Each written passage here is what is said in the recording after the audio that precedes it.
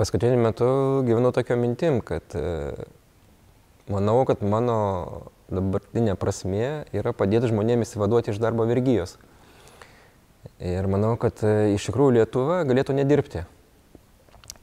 Bet e, iškila klausimas, ką aš vadinu darbu. Pasidomėjau, kas pirmas pareiškia, kad visi žmonės turėtų dirbti. Radau, kad tai protestantai. Kalvinas pareiškia, kad Dievas myli dirbantį žmogų.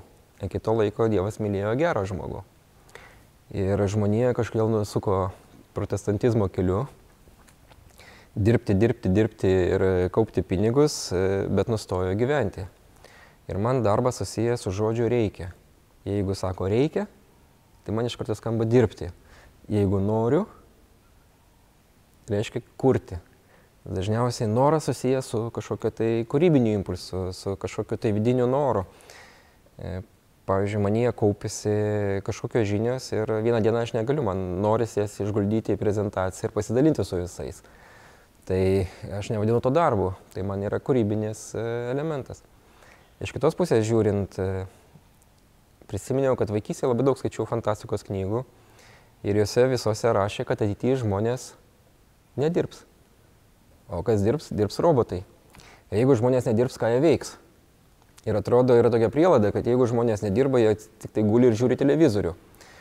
Bet e, reikia pabandyti savaitę pagulėti prie televizoriaus ir pamatysi, kad pradeda pragolos atsirasti ir gamta neleidžia tokio.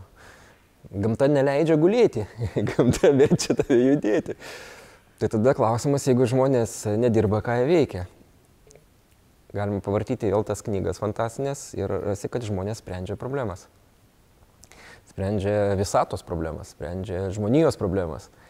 Tai kodėl fantastai tai nevadino darbu? Toks geras klausimas iškyla. Ir man tada kaip tas aiškiai susisieja, kad darbas tai yra robotizuotas darbas, tai yra monotonijos elementas, kad darai tą patį ir žmonės kankinasi tokiam darbė, galvodami, kad kažkada tai jie bus laisvi, kai uždirbs tų pinigų. Bet kaip neišeina, taip neišeina. Tai vat e, išlaisvinimas iš vergyjos, mano manimu, reikštų, arba mano požiūriu, tai yra kūrybinis gyvenimas, kūrybiškas e, darbas. Tu darai tai, tai kas tau patinka. Tai tu neskirstai gyvenimo į darbą ir gyvenimą. Toks paradoksas, mane paprašė perskaityti e, paskaitą, kaip subalansuoti gyvenimą su darbu.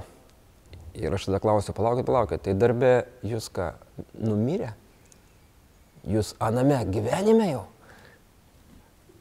Ne? Paradoksalu. Bet taip žmonės ir jaučiasi. Pasirodo, netgi yra romanai parašyta, kad, e, pavyzdžiui, dzen ir motociklo priežiūros menas prasideda nuo to, kad kiekvieną rytą žmonės važiuoja į darbą ir atrodo, kad tai laidotųjų procesija. Nes visų veidai įsitempė, visi nuliūdė, visi susiraukė. Tai pirmoji darbo diena. tai kam toksai gyvenimas?